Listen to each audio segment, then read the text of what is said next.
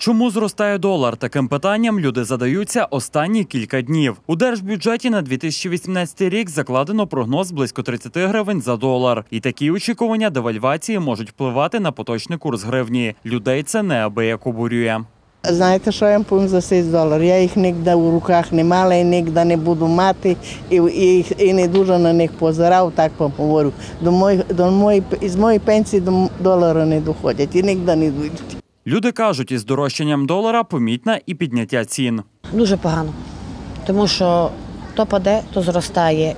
Ціни ростуть, ранком йдеш на базар, купляєш ту, ту саму продукцію, на обід не вистачає тобі і ту саму купляєш продукцію, вже ціни зросли там на 30-50 копійок. Уже це от. Курс долара станом на 3 серпня коливається. В середньому купівля 27 гривень, продаж 27 гривень 35 копійок. А Нацбанк встановив курс 27 гривень 1 копійку за 1 долар. До прикладу, що вчора на міжбанку купівля долара за 26 гривень 98 копійок, а продаж за 26,99. Замітили, що курс долара швидко зростає, і це є негативним таким чинником, так як е, порівнюючи з тим курсом, що він росте, і всі ціни будуть підніматися.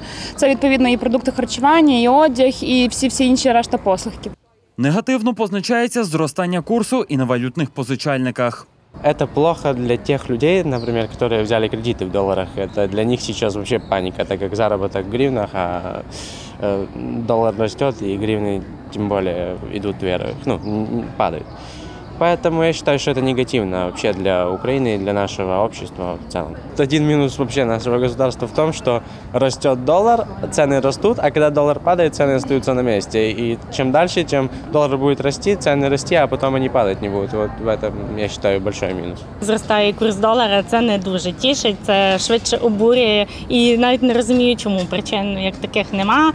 Люди сподіваються, що можливо у вересні відбудеться падіння долара, але значно міцніше гривня навряд чи стане, вважають експерти.